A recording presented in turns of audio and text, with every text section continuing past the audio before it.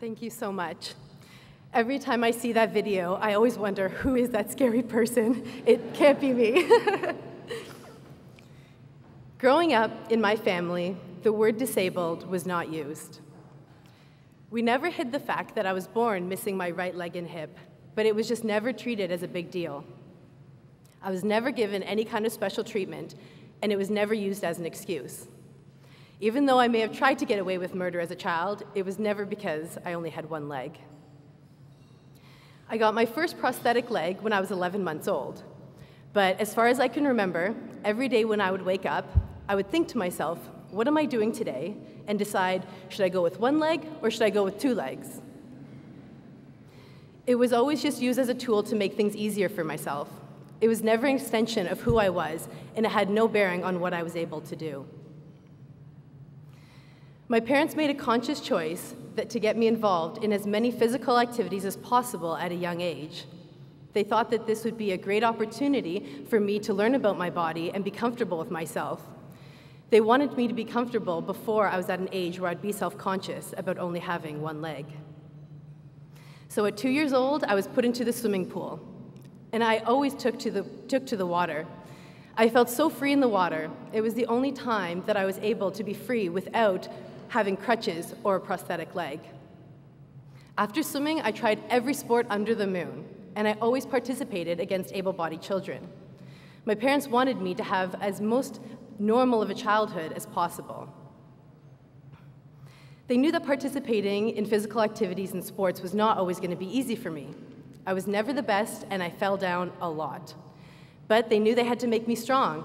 I was going to face challenges beyond those of a normal child. They put their own feelings aside, and when they would see me fall down and have scrapes and bruises all over my body, they would just encourage me to get up and try again. They put their own feelings aside to do what was best for me. And they did an amazing job. I gained such a strong sense of self and confidence at a young age. I remember joking with my friends that when I swam, I looked more like a fish with a tail than a person with two legs, and it would probably be a good idea for me to be a pogo stick for Halloween.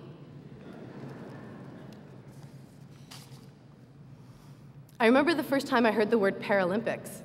I was 12 years old. I was at a swim meet and I had just begun competitive swimming. An official had come up to me and he talked to me after my swim.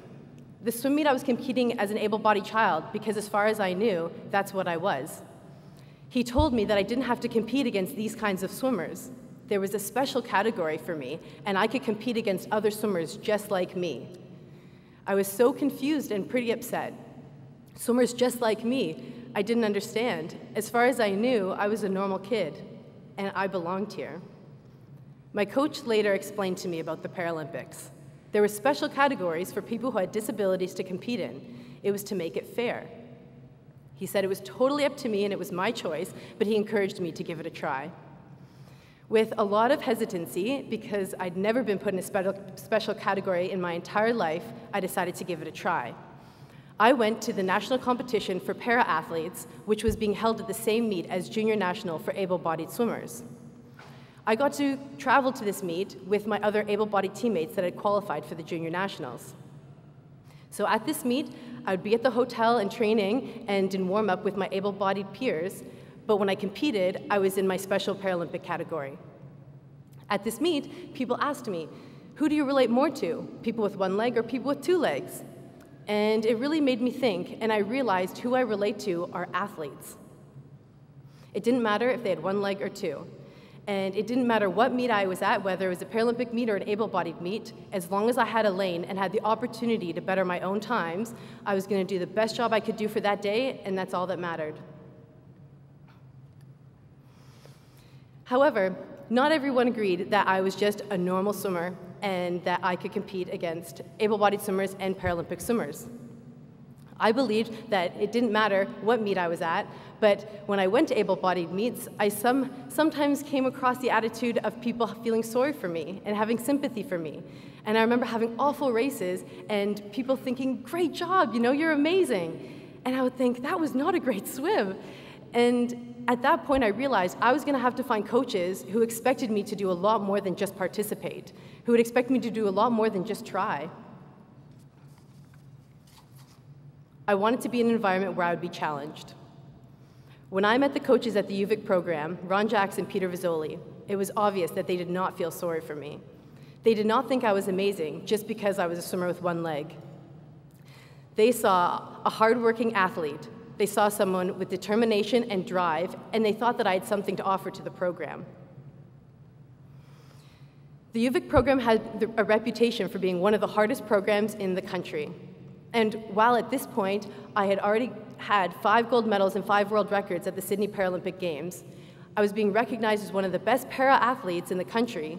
I wanted to know that I was an elite athlete, not just because I was in a different category. I wanted to test my abilities, my hard work, and my dedication against the top of the top athletes. I knew that UVic was the place for me. My first day on the Vikes team, Ron and Peter told me their expectations for me were the exact same as their expectation for the other Olympians in the program. These expectations included six kilometer workouts 10 times a week. This would be two workouts a day, the first workout starting at 5.15 in the morning, alarm going off 4.45. This is what the next six years would look like for me. They made it clear that there was no distinction between me and the other Olympians in the program, and they were good on their word. They were never shy to tell me if I was lagging behind or needed a kick in the butt. And while it was probably good at the time that swimming is a sport where your face is in the water and they couldn't hear what I was saying back to them, I can say with complete certainty, looking back today, that the only way that I was able to achieve what I have is because of the swimmer they always knew I could be and refusing to accept anything less from me. It is every varsity athlete's dream to qualify for the CIS championships and represent their university at the nationals, at the national level. I had already succeeded at the Paralympic stage, but Ron and Peter believed that I could do more. They knew that I would bring hard work and determination, dedication and drive to their program, but they also believed that I could actually get up and race at the varsity level. My goal became to qualify, able bodied, for the CIS championships. My first year as a varsity athlete, the CIS championships were being held in Toronto, which was my hometown. So it, it, was a little bit extra special for me to be able to represent my university in front of my friends and family. So when I failed to qualify for the CIS championships at the beginning of the season, the pressure began to build. It came down to the last meet that I was able to qualify at. And I remember standing behind the blocks and feeling so nervous I thought I was going to throw up. And it's the exact same feeling I had before my first Paralympic race. And it made me realize that it didn't matter if I was at the world stage, being able to represent my university as an able bodied athlete in front of my friends and family meant just as much to me. And I pulled it together and I did end up qualifying in the 200 meter backstroke for the CIS championships. No special category, I was going to the University Nationals.